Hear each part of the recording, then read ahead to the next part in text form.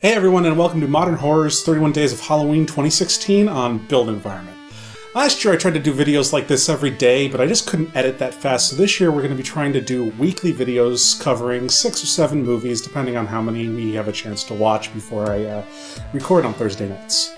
Now, in past years, each week has covered a theme about the movie's setting, the type of monster, the director, etc., but this year we're simply picking movies at random the night of, based on the streaming service they're available on. So we'll have a Netflix week, and then an Amazon week, a Hulu week, and then some shit from the DVD shelves here that uh, we just haven't gotten around to yet. So this week, we're watching some movies from Netflix. Now, first up is The Sacrament. Uh, it's Ti West movie. He ventures once again into found footage horror and does a much better job this time.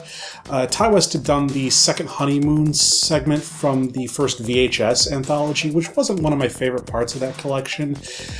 Just because it's probably not the best decision to get a director whose signature style is slow to direct a short film. But anyway, this movie is very uncomfortable to watch. The writing is stellar, and Gene Jones absolutely kills it as the socially manipulative cult leader. The, the confrontational interview that he gives midway through, and the, the way he monologues all, all the way through the end of the movie are just downright despicable. Very realistic sucker punch of a movie. Now, next up is The Secrets of Emily Blair. Now, it's been said many times that I am a sucker for possession movies, and Apparently, so are the creative team behind today's movie. Uh, Emily Blair, taking the name Emily from The Exorcism of Emily Rose, there's a character in the movie named Linda for Linda Blair, the actress from The Exorcist. Linda's last name in the in the Secrets of Emily Blair is also Regan, which is the first name of Linda Blair's character in The Exorcist. They just are all over this movie, and the whole thing is also told as a flashback by a jailed priest again, just like in The Exorcism of Emily Rose. However, beyond the references, it's just not that great of a movie. I mean, the demonic behavior and the dialogue is really quite good, but the acting was just a bit mm, undercooked. And they also had a, a really interesting visual representation of Emily Blair's struggle against the demon, but the flashiness of it kind of undercuts the horror that was uh, that was in there in the way that the demon is tormenting the family. Third movie is Bleed, and this is one of those movies that kind of suffers from not really knowing what story it wants to have. It's got a pregnant couple in a haunted house thing, there's a childhood trauma thing, a haunted asylum thing, a cult thing, there are ghosts, there's gore. Well, actually, the gore the gore is actually pretty good, but nothing else here really sticks. Yeah, I just don't have a lot to say about this one. Tuesday's movie was A Girl Walks Home Alone at Night, which is an American made Persian language story about a young man chancing into a vampire stalking the fake Iranian town of Bad City. It's got a big French film noir art house feel with the, the music use, the black and white.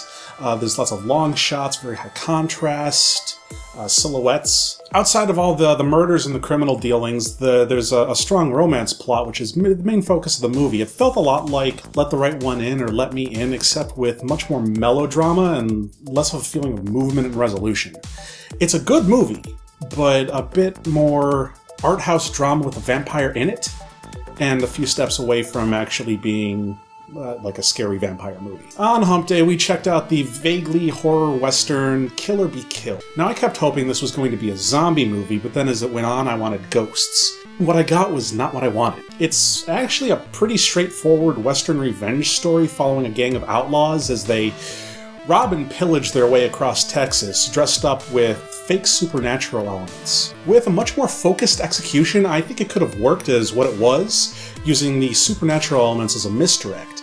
But here, everything wound up being a misdirect because the story couldn't figure out exactly what mattered so it just kind of followed the gang as they bounced amusingly from heist to heist, and it had its funny moments. Unfortunately, it's a very skippable movie. Though yesterday's movie claimed to be an Iranian Western, but felt more like film noir, so at least we've got our Western now. Now, Thirsty Thursday has been a double feature of Most Likely to Die and Fairlane Road. Most Likely to Die is probably the most enjoyable traditional horror movie of the week. It's a pretty simple slasher flick about a killer dressed in a graduation gown, my high school colors, incidentally, with a mask made from paper mache yearbook pages, and he's got he's got these great weapons in the form of a, a graduation cord for strangulation, and a, a, sharpened blade hidden inside of his mortarboard. The kills here are all thematic and based on a person's most likely to vote, as the killer stalks the yearbook committee the day before the, their 10-year high school reunion. I gotta say, I actually,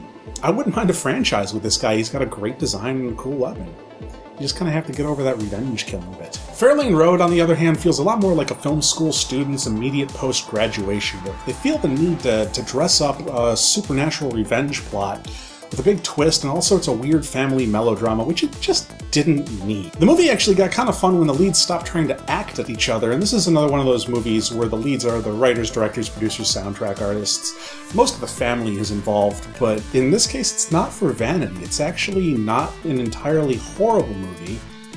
There was just too much pointless arguing that was unrelated to the actual story. If it had actually gotten to the point in the horror much faster, it would have been a lot better for it, instead of feeling the need to dress up the horror. Anyway, thanks for watching. Feel free to leave a comment below. Please like and subscribe for more videos, and I'll see you next week. Happy Halloween!